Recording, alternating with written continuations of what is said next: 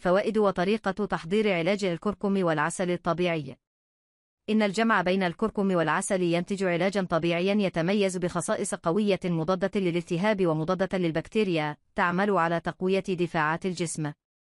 إن الجمع بين الكركم والعسل ينتج علاجا طبيعيا يتميز بخصائص قوية مضادة للالتهاب ومضادة للبكتيريا تعمل على تقوية دفاعات الجسم كما يعتبر أيضا مضاد حيوي طبيعي قوي لذا فإن هذا الخليط يدمر أنواع مختلفة من الفيروسات والبكتيريا التي تسبب المرض. إن الميزة التي يتمتع بها هذا العلاج عن الأدوية التجارية هي أنه لا يسبب أي آثار ضارة بفلورا الأمعاء المفيدة. كما يحتوي على كمية كبيرة من مادة البوليفينول والفيتامينات والأملاح المعدنية، وله أكثر من 150 استخدامًا علاجيًا، والتي تشمل علاج الاضطرابات الالتهابية وأنواع مختلفة من مرض السرطان. في الطب التقليدي القديم الأيوفيدا ببلاد الهند يستخدم هذا العلاج لمحاربة أمراض الجهاز الهضمي والكبد والأمراض الفيروسية. ولكن أيضا بسبب خصائصه المضادة للالتهابات، فقد ثبتت فعاليته بالنسبة للمرضى الذين يعانون من التهاب المفاصل والنقرس.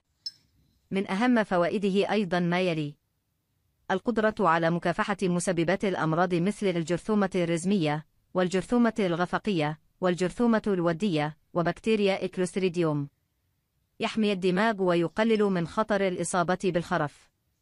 يزيل السموم من الجسم. يقلل من التأثير الضار لبعض أنواع أدوية السرطان. التخفيف من الأعراض المتعلقة بالإنفلونزا ونزلات البرد وغيرها من أمراض الجهاز التنفسي. يمنع التهابات المسالك البولية. يخفف من قرحة الاثني عشر. يقلل من الكوليسترول. القدرة على تحسين عملية التمثيل الغذائي للدهون. طريقة تحضير علاج العسل والكركم. إذا كان لديك أي من المشاكل الصحية السابقة، فإنه يجدر بك تجربة هذا العلاج لتقوية فاعلية الدواء الذي تستهلكه وتسريع الشفاء. ولكن من المهم أن نوضح أن هذه المكونات يجب أن تكون عضوية بنسبة 100% للحصول على كافة الفوائد. المكونات أربع ملاعق كبيرة من العسل النقي 100 جراما واحد ملعقة كبيرة من الكركم 10 جراما الإرشادات أضف ملعقة من الكركم إلى أربع ملاعق من العسل النقي وصب الخليط في وعاء زجاجي محكم الغلقة بتقليب الخليط عن ضمان تجانس المكونات طريقة الاستهلاك كعلاج وقائي ننصح بتناول ملعقة طعام واحدة من هذا المزيج قبل الإفطار كل يوم. إذا كان لديك نزلة برد، يجب عليك تناول نصف ملعقة صغيرة كل ساعة طوال اليوم. في اليوم التالي قلل الجرعة بمقدار النصف وخذها كل ساعتين. يستمر العلاج لمدة ثلاثة أيام أو ربما أطول قليلا حسب حدة الأعراض. تأكد من ترك الخليط في فمك حتى يذوب تماما.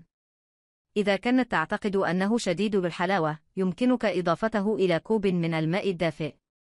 أضاوات منه وخفف هاء الأكل.